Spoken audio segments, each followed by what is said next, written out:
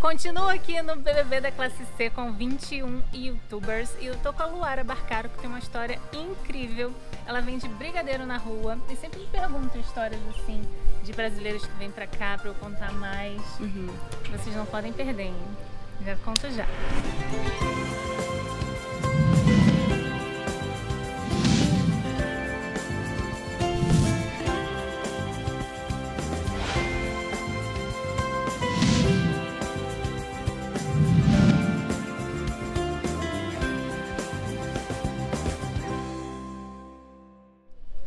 conta, Luara, como que você veio para os Estados Unidos? Como foi toda a sua história?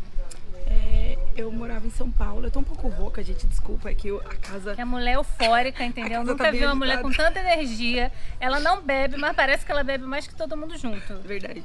É, eu vim no Brasil, eu já morava um pouco sozinha, longe da família. Eu tinha o sonho de vir para os Estados Unidos, mas eu sou de uma família muito pobre. Eu nasci numa favela em São Paulo e eu não tinha condição. Então todo mundo colocava na minha cabeça que não era possível, não era possível. Desde a época que eu dançava. Eu tinha. Sou fã dela, gente. Ela nem sabia. E aí ah, eu fui e falei, eu vou para os Estados Unidos. E aí eu dei meus pulos, me virei, nunca tive preguiça, corpo mole. E cheguei aqui nos Estados Unidos sozinha, sem família, sem mãe, sem pai, sem ninguém. No começo foi muito difícil. Eu passei necessidade, eu não tinha dinheiro para pagar meu aluguel aqui nos Estados Unidos. E ou eu comia ou eu pagava o aluguel. Aí o que, que eu fiz? Comprei uma caixa de miojo. E aqui a caixa de miojo é baratinha, vem tipo 20 e poucos miojo e é cheap, né? Muito barato. E comecei a sobreviver, café da manhã, almoço, janta de miojo. Miojo. E ninguém no Brasil sabia. A família tá tudo bem, tá ótimo. Postava uma foto bonitinha na internet. Isso acontece muito, né? As pessoas vêm pra cá com a cara e a coragem, É. às vezes não tem condições E e, deixam a família despreocupada achando que Isso. você tá bem, né? Aí eu trabalhei de limpeza, de muitas coisas e não me pagavam, me enrolavam. Não é sempre assim, mas eu tive azar. Até que eu falei, cara, eu preciso me reinventar. Eu fui trabalhar na construção civil feminina, tem tudo no meu Instagram, foi super legal. E comecei a ganhar bastante dinheiro. Conta pra gente o que que você fazia na construção Eu civil. fazia coque, que passa na porta pra ficar aquele o vãozinho, lixava a parede, pintava, tirava a terra pra eles fazer aquele piso do lado de fora. Trabalhos que, vo- que a gente De acha homem. que é de homem, né? Uhum. E ganhava bem. Aí juntei o dinheiro e falei, vou começar a trabalhar pra mim. Uhum. Aí fui no YouTube, procurei, vou trabalhar do quê? E veio o brigadeiro. Aí fiz brigadeiro e fui pra rua vender. Quando eu fui vender na rua, foi tão boa, tão boa, que tipo assim, eu fiz 238 dólares em duas horas e meia, três horas. Uau! Aí nunca mais parei. Hoje eu vivo dos brigadeiros. Tem dia que eu faço 450, 380, sozinha. Tem duas garotas agora que trabalham pra mim. Empresária E já. Já comprei dois carros com o dinheiro do docinho. E a minha, eu pago aluguel, casa, tudo, tudo, tudo meu é do dinheiro do doce. E agora que eu virei youtuber, que meu canal bombou por causa dos Em doces pouco também. tempo, né? Em três meses, meu canal foi para quase 100 mil. Exatamente porque quem é de verdade sabe quem é de mentira. E eu comecei a postar minha verdade.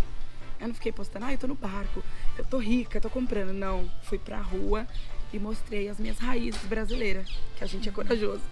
Com certeza. E não só essa garra que ela tem de força de viver, de, de alegria, ela tem uma história muito triste, né, com a sua É. família. Eu, no Brasil, eu morei no orfanato porque a minha mãe, ela é des- desestruturada e, infelizmente, ela estava drogada uma certa vez. Eu tinha quase 12 anos e ela tentou me matar. E eu fui parar num abrigo, o conselho tutelar me tomou dela.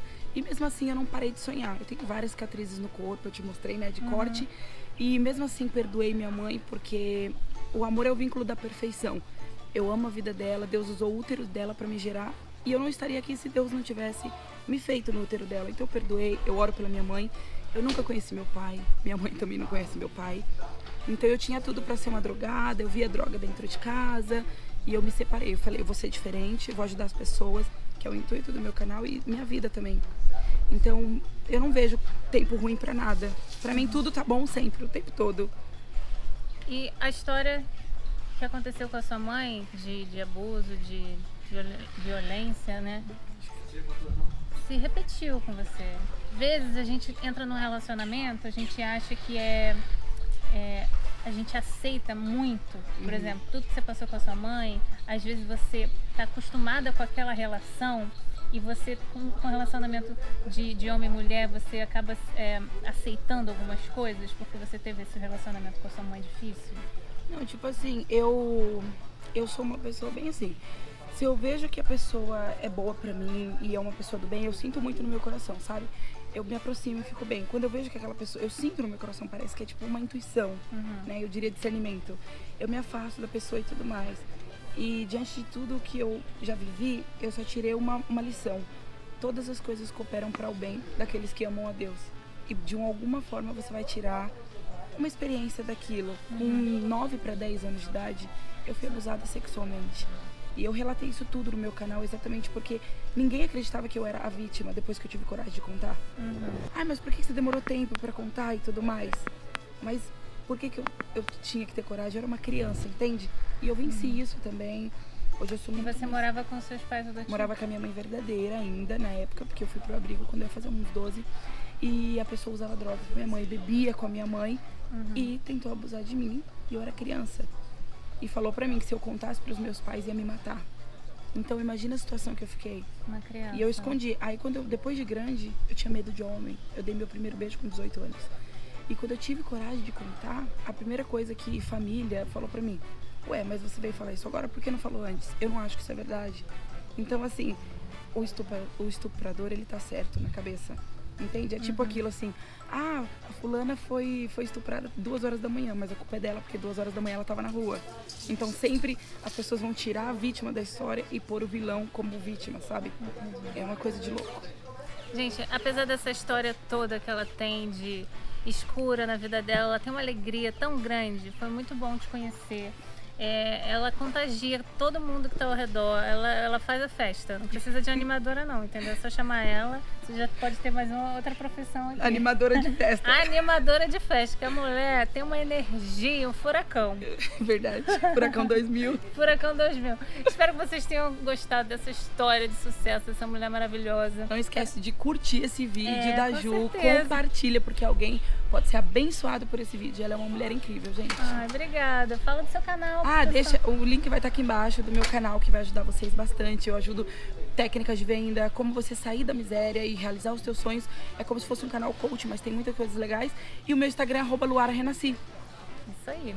Então curte esse vídeo, se inscreva no canal, acione o sininho para receber todas as novidades. E a gente se encontra semana que vem com mais um Vida de Mulher. Ela é muito fofa, gente. Tchau, tchau.